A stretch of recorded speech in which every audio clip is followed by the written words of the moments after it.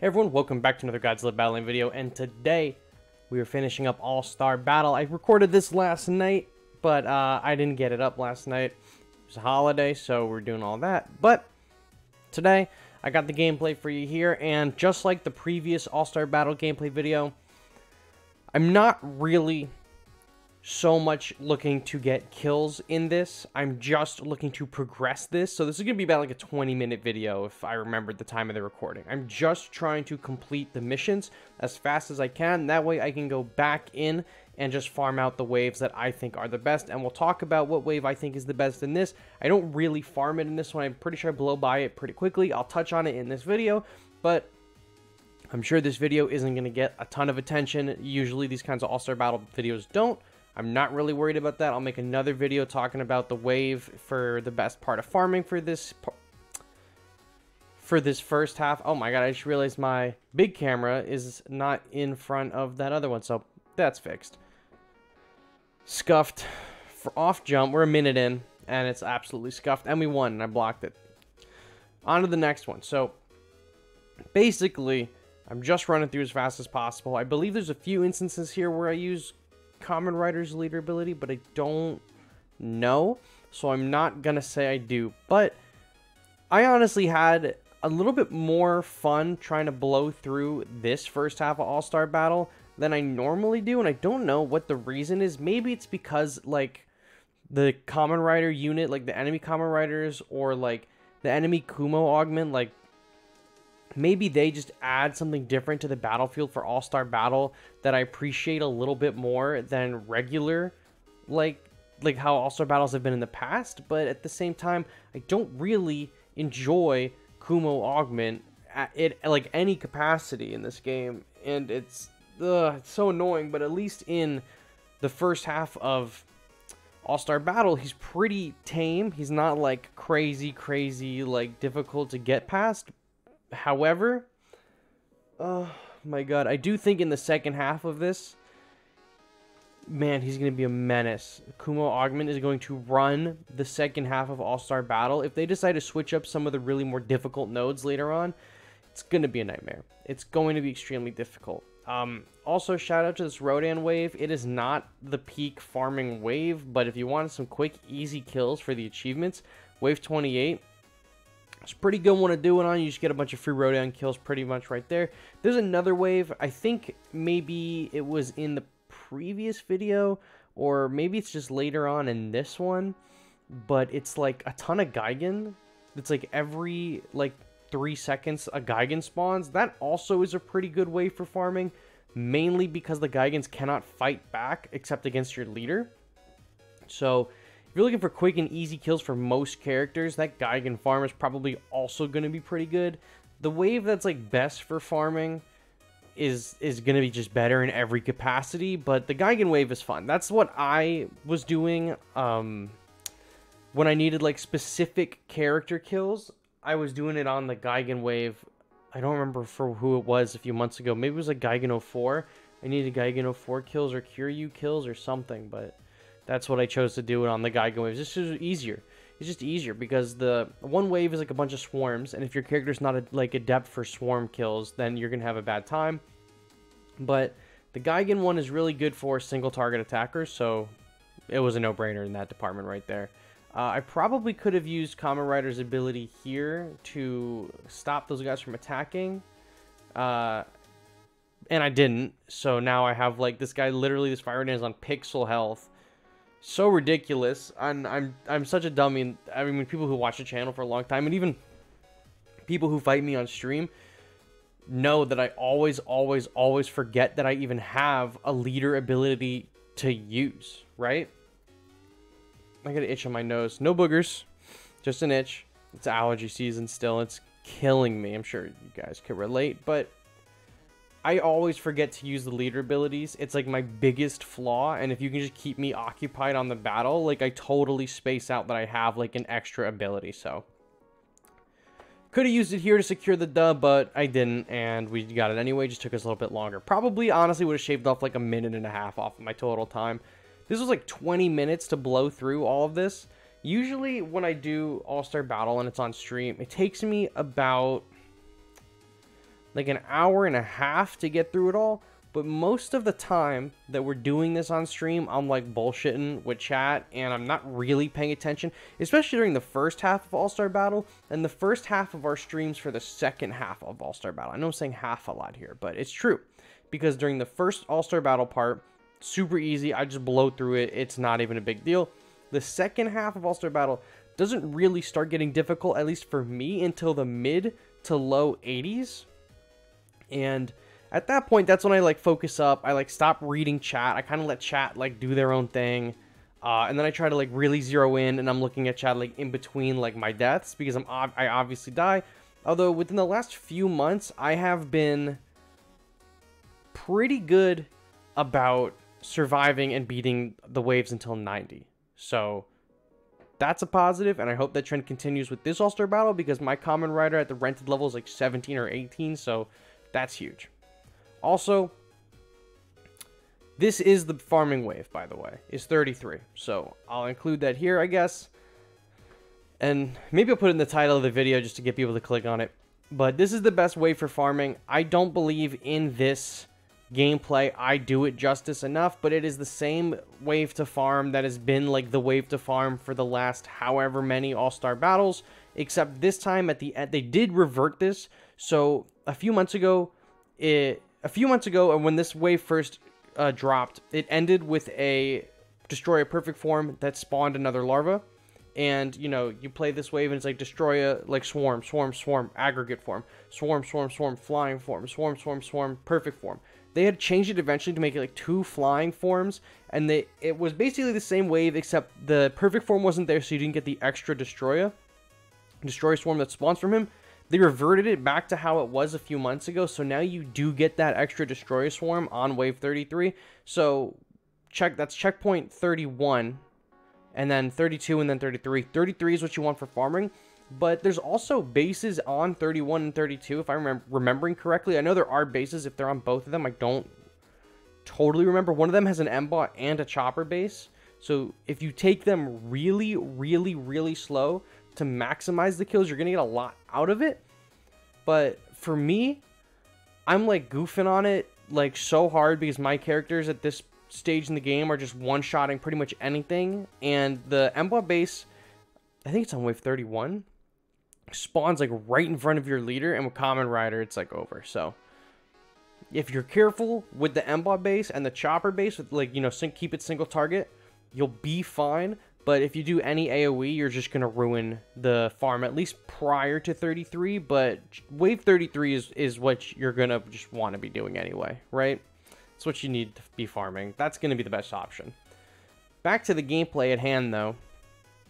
I wanted to see how much damage I would do with the Stealth Bomber. I recognize there is a Burning Godzilla there, and the leader can fight back, but I just wanted to see, for science sake, what the damage was looking like at wave 36. My Stealth Bomber is level 15, so I don't know what level this Jet Jaguar leader is, but at any case, it is still pretty formidable, at least to the level 15 Bomber, which isn't saying much, but it gave me a good gauge on what the health was looking like for him, because I like to like test the waters. I don't really know the levels for the All-Star Battle pieces, I guess. Toho doesn't tell us. They have like a recommended level like area when you click on a mission, but I am pretty sure that is for your unit level, like your average unit level, not your average player level. So I think we're in like the 13s or something like that now. So maybe he's like a level 13 leader, but I'm almost certain that the four-star leaders in All-Star Battle are significantly stronger than Toho is leading on. So let's see what the recommended is here. I gotta buy the tickets. So I think this is the only time I had to rebuy tickets. So level, it said level three. I, I, don't know. Maybe that is player level. Maybe that is player level three. I, I can't imagine this is you could pass this with all level three units, right? So maybe that is player level, and I'm just like smoking crack or something. But um, now I lost my train of thought actually. Uh, I don't remember. Someone in the comments will let me know. We'll circle back to that. Uh, now I don't even know what I was going to talk about. I was rambling about something, and I knew exactly what I wanted to talk about, and now I don't know, so we're just going to go through with this gameplay again. I did my purchasing of the next four tickets, so I could get more. I, I used 150 gems to get more tickets so I could do the rest of this All-Star Battle. I will be able to ride those tickets all the way to wave 48, and then 49, 50, 51, I'm going to end up buying for 80 points, for 80 event points, one ticket, so I can just knock out the final bits of this whole thing. And I don't recommend that players even buy the tickets for the 80. You know, I, I see a lot of players using event points to buy the tickets, and I see a lot of players using their event points to buy the gold. And those are generally the two things I stay away from in All Star Battle. The event tickets for points, because you can just, for 150 gems, which is not a lot of gems, to completely max out your um, tickets for the event, that's a really good deal because if you look at the ticket prices, it's 80 per ticket, and let's say you have the battle pass, so you can do four tickets. It's 84 times. Some of these achievements for getting kills only give you 50. So the tickets, if you're buying an event ticket with your event points, it costs you way more. But you can get 150 gems just by doing like your dailies or through the battle pass or like through that section in the store, right? So you can get gems pretty easily. I think that it's a waste to buy the tickets with your points. I, I sometimes I think it's a waste of buying the gold. The only times I ever recommend buying the gold with the event points is if we know for certain we're getting some kind of level up event coming. If we're getting like the 30% off event or we're getting like um there was another event that was really good too. I don't remember what it was. But regardless, if we know we're getting like a gold spending event that's on the horizon, then stocking up on gold is usually what I recommend. But um I know a lot of new newer players buy a lot of gold and then use that to try to level up their characters, but in my mind, and I know that there could be like actually a better reason than what I'm giving to buy the gold with the points, but in my mind, from a lot of the other free to play games that I've played, my mindset is I do not want to spend a limited event currency on currencies that I can purchase, or not purchase, the currencies I can grind for free at any time. And maybe that's just that's just me from playing like the other games that I play, right? Marvel Strike Force, uh, now Marvel Snap, right? I'm playing a lot of Marvel games. Uh, I used to play World of Warcraft a lot. I'm playing Destiny all the time. People in my Discord know that I'm like obsessed. Uh, but anything that you get like a premium currency in, I don't. You know, you have the premium currency that you can spend on limited items or the regular currencies that you just get by playing the game. If you just play a lot, you'll get that regular currency, right? And to me, that's what the gold is. You just play the game and you'll get. I was looking at something. You just play the game and you'll get the currency, right? So in my mind, I'm just like, not really see the value, but I know there's a lot of players, especially newer players, who do not have like their star boosts in the studio mode up high enough. So like I have like an eight or nine percent boost to all the gold I gain in the arena because of the star uh, studio battle and the star boost. Because every time you put a level in in studio mode, you get like 0.1 percent towards your gold yield every battle. And I know like my eight to nine percent like isn't a lot, but it's more than new players, right? So the new players will see the gold as valuable, but I think a lot of long-term players probably don't need to be buying the gold, especially if you're grinding a lot. And I know a lot of you are grinding, but I guess at the end of the day, it's just personal preference. I don't generally advise buying the gold, but it is what it is. I mean, you get a lot. I just got 170 from this checkpoint. I'll probably get like 180 from this one, so... I, I guess take it or leave it, right? You can buy the gold, you cannot buy the gold, but all I really can say for the 100% certainty is don't buy do not buy the tickets with your event points. I only do it so I can finish up the content because I also have like 13,000 of the points like saved up. So I've had them for a long time so I can afford to just drop 80 on one ticket. But I've seen like newer players spend like whatever it is, what is it, like 20 something or 200 something uh, tickets to just to refill their thing for one shot. It's not worth it. It's not worth it, guys. That's my rant. That's my rant about the event tickets. Now I gotta find something else to rant about. Uh, don't buy the gold map during the first half of the All-Star Battle that's in the store. Wait for the second half. Uh, it looks like also now that we have the egg event, that the um, event point store doesn't last season to season anymore. So you have to buy the legendary map now like not now now but like in the season that it is because we, we used to be able to get and hold 2,000 of the event points. Wait for the next season. The event store would be active, and then during the next season, you could buy the legendary map that was in the event store for a chance to get the new character. But as of last season, they didn't let us do that. So last season with all the Evangelion units, there was a legendary map in the store. However, the date for the event store going away was also the same day as the season was ending, which has not happened before. So that was a little weird, and I sus- I haven't looked at the event store changeover yet, or like I have looked at it, but I don't remember what it is. So it could very well also be the same situation this season.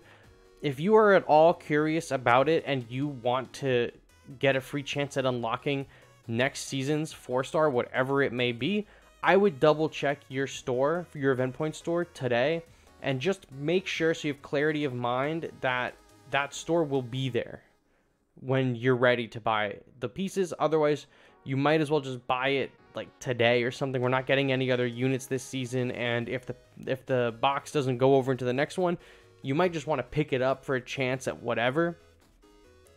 I myself am personally probably not going to buy it. I like saving up my points for the cosmetics, especially if it is for a event crossover like the GVK stuff or the Japanese Hero Universe stuff. And I like to buy all the units. They've been adding a lot more units into All Star Battle store. Like I, I will put like a hundred dollars that they probably sell us Kumo augment pieces next week, right, or whenever this refreshes for All Star Battle. Uh, there's a Kamen Rider piece in there right now if you haven't bought it. There's a Desghidorah piece in there if you haven't bought it. Maybe they add another Kamen Rider. I don't know. But uh, last All Star Battle, they had like what Unit 1, Unit 2, and Unit 0 in there or something. So you never know what they're going to pack in there these days. You just always got to be careful. So I like to have at least 10,000 of the event points saved up just so I can get whatever I want. I don't really have to stress about it. The biggest ticket item is the G material. I always buy that, and then I always buy whoever the featured character is. So uh, we can actually take a look at the store now. So it refreshes in 18 days from here. This is me buying the ticket, by the way. So in 18 days, one, two, oh, that was from yesterday. So one, two, so one, two, three, four, five, six, seven, eight, nine, 10, 11, 12, 13, 14, 15, 16, 17, 18, 19, 20. 18? Yeah, okay. So that ends that ends when the new season goes live. I, if I'm remembering correctly, the new season starts on April 27th or 28th, so that event store will go away when the new season begins. If you want to pick up anything from that legendary map, go for it. Also, can we take a moment to recognize how much of a shame it is that they've nerfed this wave into Oblivion? Checkpoint 49 for months and months and months and months was like the premier farming wave. There was like a ridiculous amount of choppers. There's a, all those Super X's, all those bombers. There's just so much to kill here. So much. And it was so easy. Wasted. Gone. They nerfed it. That's how you know they're watching my videos, man, because I'm the only one even talking about what the best farming wave is and like any of the battle Battleline content online, right? I'm telling you which is the best. They have to be watching the videos. I mean, I know they are, but because they directly nerfed that. They nerfed that thing, right? So that is what it is. I know you're watching Toho. Nerf Kumo Augment, for the love of God, nerf him. Oh my god, there's no reason. I'll make a rant video about this, I'm sure, at some point. There's no reason a three star, three cost character, same cost as Emba, by the way, the Emba pair, should be running the meta as heavy as it is. There's no reason for it. It's disgusting and I don't like it. Nerf him, please. Nerf him. Thank you very much. That's my rant about Kumo Augment. I'm sure I will either on stream, whenever the next stream is, be super salty about him, or I'll just get so fed up playing ranked today that I'll just make a video about it anyway. Ah, that's it. I'm not going to spend more time on Kumo Augment. This is the final wave, wave 51. Uh, I do, I think I cut out, I recorded myself opening all my rewards from this, but I'm pretty sure I cut it out because I didn't get anything good out of the boxes. So I'm not certain that that is there. But this is the final wave Uh, you can see here, Unit 2, a great display of her not being able to target things correctly. But this is the uh, nail in the coffin right here. Unit 2 is going ballistic, and Space Godzilla is giving her that buff right behind her. There we go, done. Mechagodzilla 21 is a leader, not even scary as the final boss for the first half. Mechagodzilla leader, these leaders don't even use their abilities either. If these characters use their abilities, it'd be much, much tougher. But uh, yeah, so I guess that was it, and I didn't show the rewards. I got nothing. I basically got like Dorats and Energy Base and King Caesar pieces, is what it is. So that's all I got for you guys today. I hope you enjoyed this conversation with me. I was just talking to myself, but I do enjoy our very one-sided conversation. So let me know if you like this video, and uh, I guess I'll catch you in the next one. Bye-bye.